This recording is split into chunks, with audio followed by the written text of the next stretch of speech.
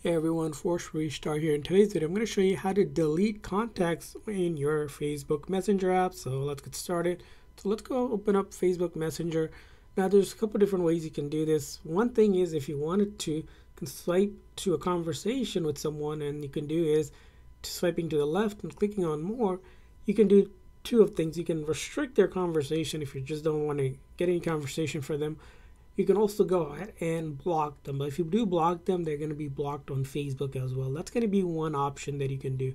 Now, if you really want to delete your contacts, what you'll need to do is go into your menu here and then click on settings and then scroll down to account center, see more in account center. And from here on, we're going to go to where it says your information and permissions. You can tap on that. And right here where it says upload contacts, we can go ahead and click on that and then we're going to click on our messenger account right here. And from here on we can do two things. If you had this on you can turn that off. So if you happen to have this on just go ahead and turn it off.